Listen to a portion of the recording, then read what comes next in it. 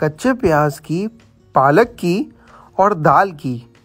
और बात करूँ दाल कोई भी हो या फिर मूंग की, आज एक ऐसी रेसिपी तैयार करेंगे जो बहुत ही ज़्यादा नई है। इसमें हमने कच्चा प्याज, मूंग की दाल और पालक के साथ साथ टमाटर, बड़ी हरी मिर्ची और अदरक का इस्तेमाल किया है। हरी मिर्ची बड़ी होगी तो ही इसका स्वाद आने वाला है। तो सबसे पहले आपको एक पालक की गट्ठी ले लेनी है और आधी कटोरी मूंग की दाल भिगो के रखनी है पंद्रह से बीस मिनट के लिए। पालक का गंध आप एक बार अलग कर ली और उसके बाद पालक को छोटा काट ले अपने स्टाइल अनुसार, अपने स्वाद अनुसार। आप किसी भी शेप में पालक को काट लीजिए थोड़ा। पालक कैसी भी हो, इसमें थोड़ा ज़्यादा फ़र्क पड़ने नहीं वाला है, पर हाँ जितनी अच्छे से काटेंगे और जितनी ताज़ी पालक होगी, उतनी ही बढ़िया रेसिपी बन के तैयार होगी। तो फटाफट से इस कटी हुई पालक को एक बर्तन में फटाफट डाल के धो लेते हैं।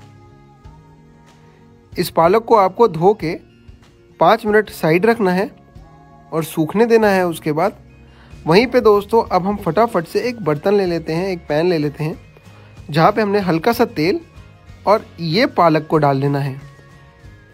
पालक आपको फटाफट सुखा के ही डालनी है, गीली नहीं डालनी मतलब पानी के साथ नहीं डालनी है। अब इसी पालक के ऊपर हमें थोड़ी सी मूंग की दाल, जो आधा कटोरी भिगा के रखी थी, उसमें पानी अलग करके सिर्फ़ दाल दाल डाल लेनी है। अब इसको आपको सूखा भुनना है। बिना किसी और सामग्री के साथ लगभग चार से पाँच मिनट लो आँच पे भूनते रहना है। जब तक ये भुनेगा, आइए आगे की प्रक्रिया दूसरी तरफ़ पूरा करते हैं। जैसे कि शुरुआत में मैंने आपको दिखाया था, इस रेसिपी में हम बड़ी साबत एक हरी मिर्ची लेने वाले हैं। तो आप हरी मिर्ची को ऐसे गोल गोल काट लीजिए। जैसे आपके जलपीनोज या ऑरिगेनोज होते हैं, उस तरीके से आप इसे गोल गोल काट लीजिए। हरी मिर्ची काटने के बाद आप अन्य बाकी चीज़ें भी काट लीजिएगा। तो देख लीजिए हरी मिर्ची हमने सारी की सारी कैसे झटपट काट ली है। इसके बाद मैं फटाफट छोटा छोटा टमाटर काट लेता हूँ। ये रेसिपी अभी तक आपको सोच में भी नहीं आ रही होगी कि हमारी वहाँ पे पालक और दाल भुनी जा रही है और यहाँ पे वेजिटेबल काटी जा रही हैं। तो क्या हम इसे तड़के के लिए काट रहे हैं? ऐसा कुछ भी नहीं है। हम यहाँ कोई भी तड़का नहीं लगाने वाले हैं।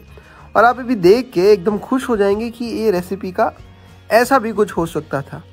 अब हमने टमाटर काट लिए हैं, हरी मिर्ची काट ली है, अब हरा प्याज काटा जा रहा है। हरा प्याज इस रेसिपी में इतना अच्छा ट्विस्ट ला देगा कि आप कहेंगे, यार, ऐसा नहीं सोचा था, इतना नयापन आ जाएगा इसमें। तो चलिए, कच्चा प्याज भी सारा का सारा काट लिया है। वहीं पे जैसे ही आप सारा का सारा कच्चा प्याज काट लें हमारी दूसरी तरफ़ जो हम दाल और पालक भून रहे हैं, वो भी भून चुकी होगी। तो चलिए, इसको काटते ही छोटा छोटा सा चॉप कर लेते हैं। ये इतना बड़ा बड़ा नहीं हमें चाहिए था। छोटा छोटा चॉप बहुत अच्छा निकल के आएगा इस रेसिपी के लिए। उसके बाद हम अपनी गैस की ओर वापस बढ़ लेंगे। तो ये देखिए, लगभग हमारी दाल और पालक भून ली गई है। इसमें हम लगभग दो से तीन लहसन की फाड़ी ऑप्शनल है, आप डालना चाहें। और अगर अदरक वो भी आपके लिए ऑप्शनल है, वो डालना चाहे तो इसमें भूनते वक्त थोड़ा सा डाल लीजिए। तो चलिए, हम क्यों देरी करें? हमें तो लहसन पसंद है, इसलिए मैं लहसन डाल रहा हूँ। अब बस आधा मिनट और हमें भूनना है और इसको हमने फिर बंद करके दो मिनट ठंडा होने देना है और या फिर अगर आप ठंडा नहीं होने देना चाहते तो इसमें दो तीन बर्फ़ की क्यूब डाल लीजिए। तो चलिए, ये ठंडा हो चुका है। अब हम क्या करेंगे फटाफट से? मैं ले लेता हूँ एक मिक्सी का जार, जहाँ पे हम ये सारी की सारी सामग्री उसमें डालेंगे। मिक्सी के जार में हम मूंग की दाल का और पालक का मिश्रण जो हमने तैयार किया है, वो डाल लेना है। और साथ ही में इसको फटाफट से हमें पीस लेना है। पीसते वक्त अगर आप चाहें तो थोड़ा सा पानी डाल सकते हैं, जैसे मैंने अभी डाला, और ढक के, बंद करके ये मिस्ट बनाते, तैयार कर दिया। तो हमारा पेस्ट तैयार है। पेस्ट में हम डाल लेते हैं लगभग दो बड़े चम्मच या फिर तीन बड़े चम्मच के आसपास बेसन बड़े चम्मच आप देख सकते हैं, ये जो नॉर्मल चाय पत्ती या फिर चीनी वाले चम्मच होते हैं इससे तीन चार गुना बड़ा है। तो लगभग सात से आठ चम्मच हमने छोटे बेसन के डाले और थोड़ा सा पानी डाल के इसको अच्छे से घुमा लीजिए। अब आपका ये गाढ़ा पेस्ट बन के तैयार हो चुका है। इस पेस्ट को अच्छे से घूमने दीजिए और उसके बाद हम इस पेस्ट में डालेंगे कुछ मसाले स्वाद अनुसार। तो चलिए, ये अच्छे से घुल चुका है, बस आधा मिनट और और उसके बाद मैं इसमें मसाले डालना शुरू कर देता हूँ। सबसे पहले मैं डाल देता हूँ इसमें नमक। नमक के बाद मैं लाल मिर्ची पाउडर डाल लूँगा काली मिर्च डाल लूँगा धनिया पाउडर डालूँगा और फिर गरम मसाला डाल लूँगा। इसको अच्छे से मिक्स कर लेते हैं।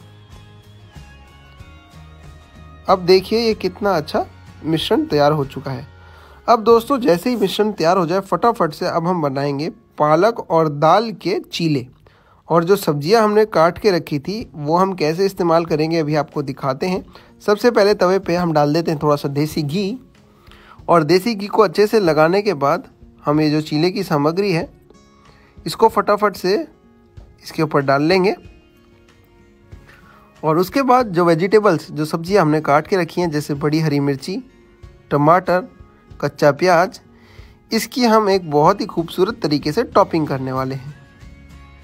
इससे आपका ये जो पालक का चीला है, ये बहुत ही बढ़िया बन के तैयार होगा। ठंड में पालक दोस्तों सभी को पसंद है। पालक में आप जानते हैं आयरन है विटामिन हैं। तो आपको ये बेहद ही ज़्यादा ठंड में मज़ेदार रेसिपी लगने वाली है और उपयोगी भी। तो चलिए सारी सब्ज़ी डाल दीजिए, जो जो हमने तैयार करी थी। और ये लंबी जो हमने गोल गोल हरी मिर्ची काटी है, विश्वास मानिएगा, अगर इसको डाल के आप खाएँगे तो आप कहीं ना कहीं इस रेसिपी के दीवाने हो जाएँगे। तो चलिए सारी की सारी सामग्री हमने डाल दी। हाथ की मदद से इसको थोड़ा सा दबा लेते हैं। और उसके बाद ये जो है आपकी रेसिपी लगभग बन के तैयार हो चुकी है। इसको हम खट्टी मीठी इमली की चटनी के साथ खा के आज स्वाद लेने वाले हैं इसका। तो कैसा लग रहा है आपको दोस्तों? पालक का चीला मुझे देख के ज़रूर बताइएगा। मैं फटाफट से इस पालक के चीले के ऊपर वाली साइड पे भी देसी घी डाल देता हूँ, ताकि पलटते वक्त दिक्कत ना हो। अब ये पलट चुका होगा दूसरी तरफ़ से तो चलिए इसकी साइड बदल लेते हैं। हम्म, ये देखिए पलट चुके हैं। तो चलिए हम पलट देते हैं और ये आपका पालक का चीला बस ज़बरदस्त बन के तैयार हो जाएगा। तो मैंने आज ये पालक का चीला तैयार कर लिया है। आपको कैसा लगा है पालक का चीला दोस्तों? मुझे फटाफट आके कमेंट बताएँ।